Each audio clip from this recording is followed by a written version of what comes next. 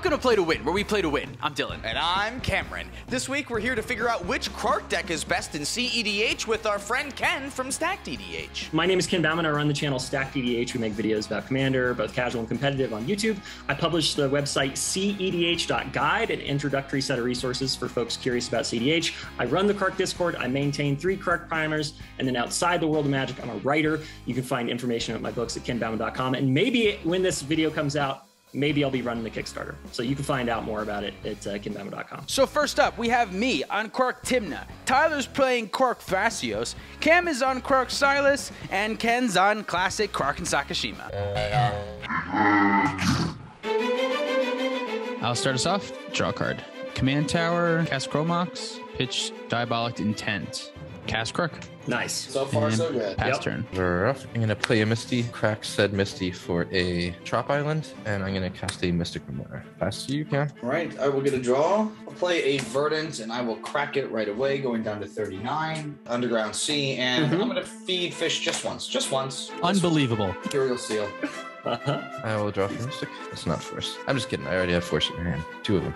Sick. Oh, yeah, both? Yeah, cool. cool. Yep. Let me get a card. Lose two life, going down to 37, and I will pass the turn. Draw. Play a fiery islet, lose a life, cast a fish of my own. Draw. Yes, not paying at all. I will also pass the turn. Untap. Draw card. Let's not feed the fish and dig our way out of this mulligan at the same time. Play Badlands. Cast Tymna. I guess Cameron just imp sealed and lost some life. So Cameron, I'm going to attack you for two. 35. I will lose one life and draw one card of my second main going to 39. Pass turn. I'm Untap. I am going to let fish die. Draw off return. Play a polluted delta. Bolt myself in order to go find a land. Going with an untouched stomping ground. Tavern Scoundrel. Pass the turn. All right, go to mine. Changing plans slightly. Crack a flooded strand, going down to 34. I have to get Volcanic Island. If it makes y'all feel any better about this fish, I'm absolutely looking for a second land. Don't give it to him. I'm gonna cast the Karkin Pass. nice. I'm going to pay and lose a life in my upkeep, and then I'll draw. I'm going to cast a Lotus Petal. Crack the Lotus Petal for a red, cast a Rite of Flame. Okay. Yes. Cast Krark. And if that's okay, I'll pass. Untap. Draw a card. Ken, I'm going to attack you for two and with the Tymna, and Cameron, I'll attack you for two with my Krark. Guys, you gotta block it. No, no oh, blocks. I'm gonna trade. Really? Oh, wow. Sick. That's crazy. Okay. Yeah, sure. That's crazy. One of the best ways to get full value out of Tymna is to make your opponents block. And more often than not, they're not going to block, especially if it involves a trade. They're not going to want to lose their one commander for your commander, except sometimes it does bite you in the ass when people like Cameron decide that they do, in fact, want to block. Hey, I'm the Ad Nauseam deck. I need to protect my life total a little bit here, and keeping you from getting cards is also nice too. I will gain two life. Second main phase, I'll lose life and draw a card. Then your ascent is not a list now. I want you to know that. Yeah, I know. I know. It's true. I've always been on it, though. so it's all right. Are you guys gonna feed the fish? Again, I'm looking for a second I am land. not going to feed the fish. I might. It depends on what you do. If you feed the fish, Dylan, I will feed the fish. Oh, And I if the see. both There's of like you are feeding sub fish. I'm definitely gonna feed fish. Oh, interesting. So, Dylan, they're just asking you to fall in the sword and not advance your game state in the Mardu deck that is all in. This is kind of a into doing it, weird. This is like a weird thing. So let me. How many cards are in everyone's hand? Five. Four. Five. I'm not sure if this is right, but I'm gonna do it. I'm gonna fragmentize the Mystic Remora.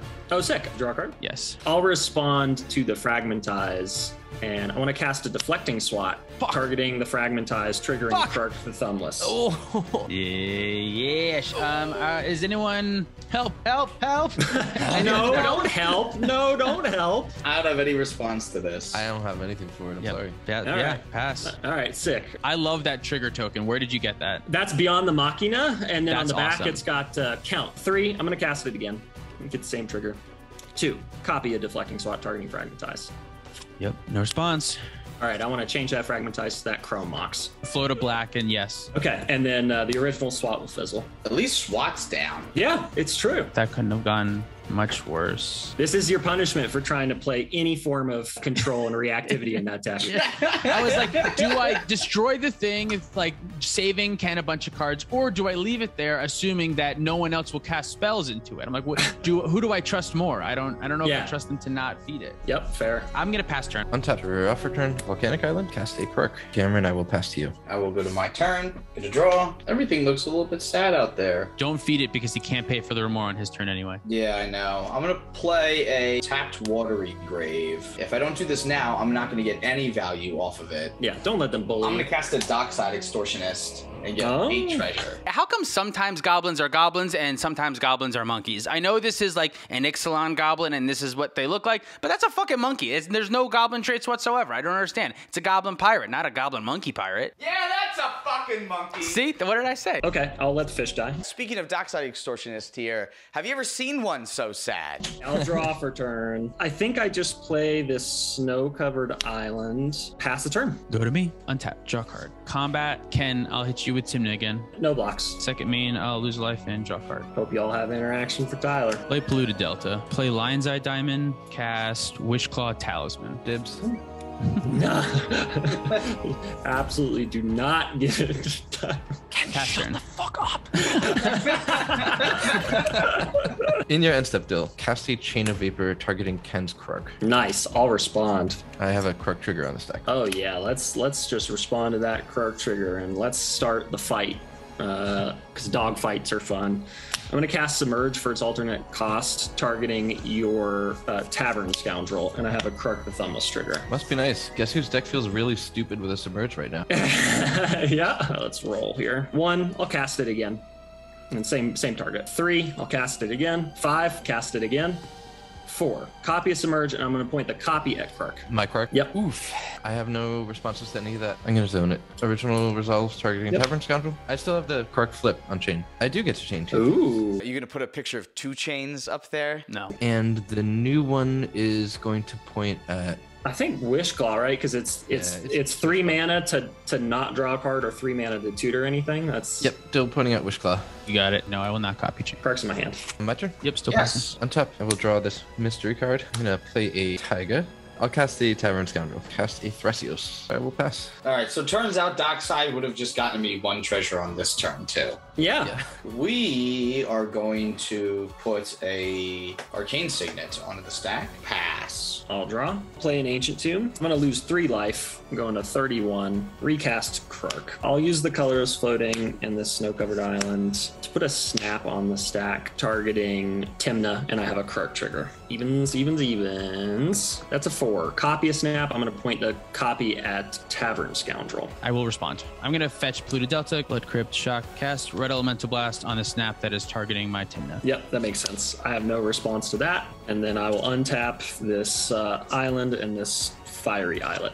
That is gonna be it for me. Go to my turn. Untap. Draw card. Go to combat. Ken, keep it on at you. You got it. Block the goddamn damn. Ah! No, never, never. I'll go to six, Tymna. Gain two, and then lose a life of my second main and draw card. I'll play a plateau, and I will cast a four mana Krark the Thumbless. I will pass my turn. I'm scared that a four mana Krark is better for you than a Wish Claw right now. Mm-hmm. mm-hmm. I'm gonna cast a Mox Opal because why not? And then I'm gonna also cast a four mana Krark. That's it. Pass the turn. Go to my turn. Get a draw. I'd like to cast an Ad Nauseam. Yep. Sounds good. Pass priority. Yes, pass priority. Pass priority. Alrighty, I'm at 34 here. And seven. Keep going. I'm gonna go one more. Zero. Nice. Okay. Yeah. Well, he's good. So keep going then, because nothing changed. No, that's not necessarily true. Well, if you were gonna go keep going before, might as well keep going now. No, that's not necessarily true.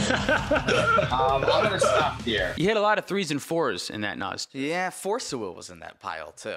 So I can play, yeah, Ancient Tomb, cast Lotus Petal, cast Lion's Eye Diamond, cast Jeweled Lotus, cast Gitaxian Probe targeting Cat. Loses Sounds good. Life going down to five. Would you like me to show the class? Yes, please. All right. Here's an Otawara that I fucked up and didn't untap my ancient tomb for. A heat shimmer and a Grapeshot. Get a draw. Hmm, I should have kept going. Um, What did I fucking say? I think it would have made more sense to just continue to add Nas instead of stopping here just because I was at seven. I think a lot of times players, and I mean, clearly me in this circumstance too, just get really nervous once you get to seven because you know you have Peer into the Abyss in the deck end. Sometimes you want to have a little bit of a cushion for cards like Vampiric Tutor or Gitaxian Probe that you still want to be able to cast. My average CMC is less than two, so I probably could have kept going before statistically this would have been a major problem. Oh, oh!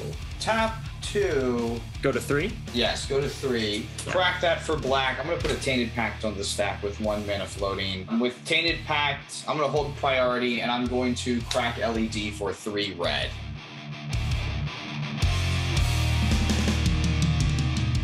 There it is. Can you even get there uh, now? If you'll notice, Thassa's Oracle was in that pile of exiled cards. Praetor's Grasp still, right? I mean, I ain't fucking running Thoracle. What's in everyone's graveyard? Romox, nothing. Fragmentize, Polluted Delta, Red Elemental Blast. Mystic Remora, Chain of Vapor, lands. I have a snap, a submerge, a fish, a deflecting swat, a rite of flame, and a lotus petal. I'm gonna use one of the red and this colorless to cast this Underworld Breach. You Casting LED, exiling three lands. I mean, you could presumably just do twin flame stuff with Harmonic Prodigy and Krarks. Here's a question for you. I don't think I'm playing that stuff. Not a question. I think Oh, I- sick. Yeah. Yeah, I think what I have to do You're not playing Twin Flame? No. Crack LED for three blue. Escape a mystical tutor. Exiling three cards. Well, I think I might be out of this game. oh, no. I think I might have exiled all of my potential win conditions. You're fucked. Yep. I don't run like a super ton, large amount of win conditions because I didn't think I'd put myself in this position today. Yeah, shit. Well, I'm fucked. Okay.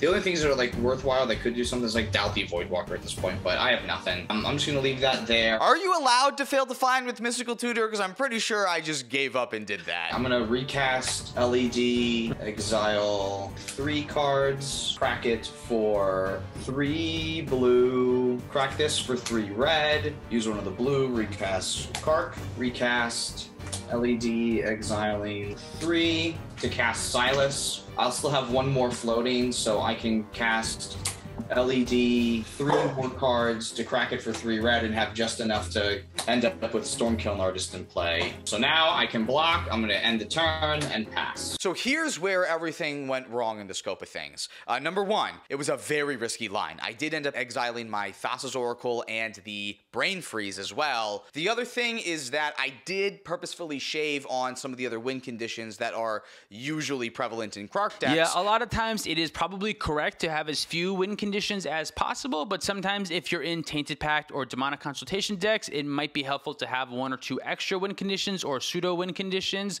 I mean, some games you're just going to lose, and you kind of have to accept that you're just going to lose a certain amount of games, and that's okay, but it might be good to have a couple backup plans if you're looking to aggressively Tainted Pact. Okay. Untap, upkeep, draw. I'll lose three more life and go to 26. Cast Dockside Extortionist. Four treasures total. Yeah, it doesn't matter if it's smart or not. Play an Otawara as my land for turn. Crack four treasures to cast Sakashima. And Sakashima is going to be a Krark. I think I just pass. Untap, upkeep, draw card. Seeing an Underworld Breach in a grave like that makes me sad. I know, it's so close. It Oh, looks you, so you have looks no so idea sad. how this begins to make me feel. Cast Jeska's Will, trigger card. Oh, Are you gonna nice. target me? I have zero cards in my hands. I have two. I have four. Target Tyler. Card trigger. Tails, that's back to hand. Sick. Great. Great. Whatever. Okay, so combat. Ken, I'm just gonna come at you with Tim and see what you do. How many cards do you have in hand? Five cards in hand. That's a pretty good amount of cards. Well, you have the Wish Claw, so what's one more fucking card? Yeah. Yeah, but you can't cast the Wish Claw right now. Did you play land for turn? Not yet. Not yet. Nah, fuck it. No blocks. Baby. Hell yeah, take it. I take two. I go to eight, Tymna, and Tyler continues to, to hate me in his heart. Gain two life and then lose one life in my second main phase. Draw card. I'm gonna Infernal Plunge, sacrificing Tymna as an additional cost. Oh, wow. Yeah, yeah, yeah. Trigger card trigger. I'll be damned. I like it. I'm not going to attack next turn anyway because no one's going to have a, a field or Ken's going to win. So we're going to try to make something happen now a little bit. So Infernal Plunge, let's see. That's a copy, three mana, and then another three mana. I'll use three of it to cast Jeska's Will. Let's see if we can get lucky again. Targeting Tyler again, card trigger. Back to hand. One more Uh, shot. one more shot. Use that three red mana. Cast Jeska's Will again. Uh, da, da, card trigger. And that's a copy. Jeska's Will. nice. Jeska's Will copy. Four red mana from Tyler. And three cards Lotus Petal, Professor Onyx, and Mana Vault. And then the original Jeska's Will. Four red mana and three cards.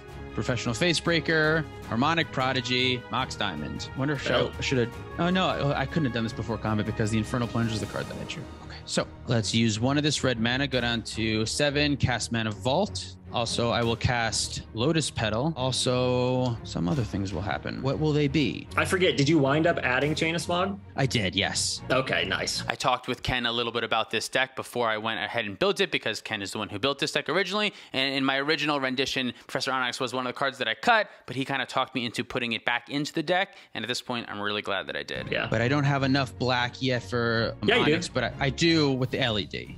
Yeah. but I also have to wish claw for it. But this is three black, which is enough. So crack the lotus petal and use one of this red here and cast the wish claw talisman. Dibs. Comes in with three counters. So thinking of the best way to do this. Just as a PSA, you would have to win a card flip on the Chain of Smog. That is true. But if I play harmonic prodigy, I have extra chances. Absolutely. Very Yep. Use two more red, cast Harmonic Prodigy. Use another red here and activate Wishclaw Talisman, Give it to give it to Cameron.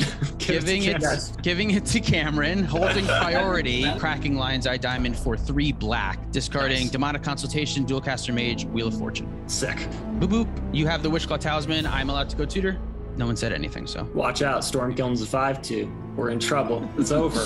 Remember when he said what he drew was Infernal Plunge? Did you draw the Infernal Plunge? Yeah. Yeah, sick. Yep. I'm a, I'm a big dummy dumb. Yep. Big, big, big dumb dumb.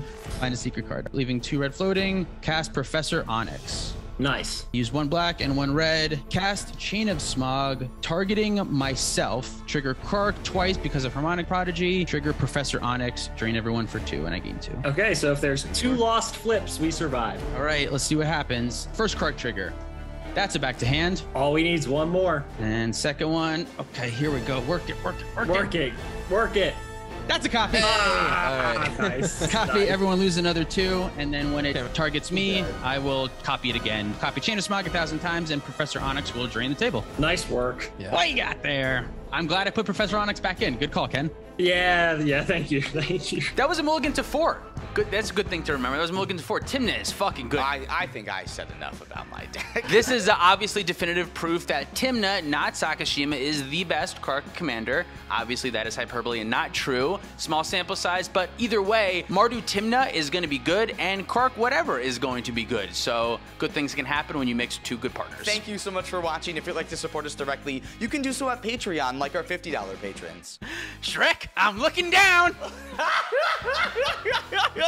I feel like some of you make your names on Patreons weird just so you'll hear me say them. Russ Helms, Jacona Stoneburner, That Green Guy, Plantain Jackson, Isaiah Berlisky, Michael Lyon, Kyle Levenberg, George Allen, Jukai, Byron Wang, C, Kawaja Ahmed, Jacob Depp, Unforeseen God, CZ, Michael Ballou, Jan Wildfang, Adrian Grimm, Sleepy Jarvis, Swampy McGee, Peter Larson, Nocturnal Beaver, Jormags, Ugly, Moxfield, and Baby Jeebus. Check out our Bonfire store for our t-shirts, sweatshirts, and the rest of the Play to Win apparel too. If you want to check out any of the cards you saw today, you can do so at our TCG Player affiliate link down below. Our Alter Sleeves affiliate link gets you 5% off your order. Check that out down below too. If you want to pick up any Dragon Shield product that'll really help support the channel, you can do so at our affiliate link. And PlayToWinMTG.com still has our coins and our OG playmats around. And keep an eye out because coming in August, we're getting a full restock of Play to Win sleeves and all of our playmat designs too. Thanks for watching. See you next week.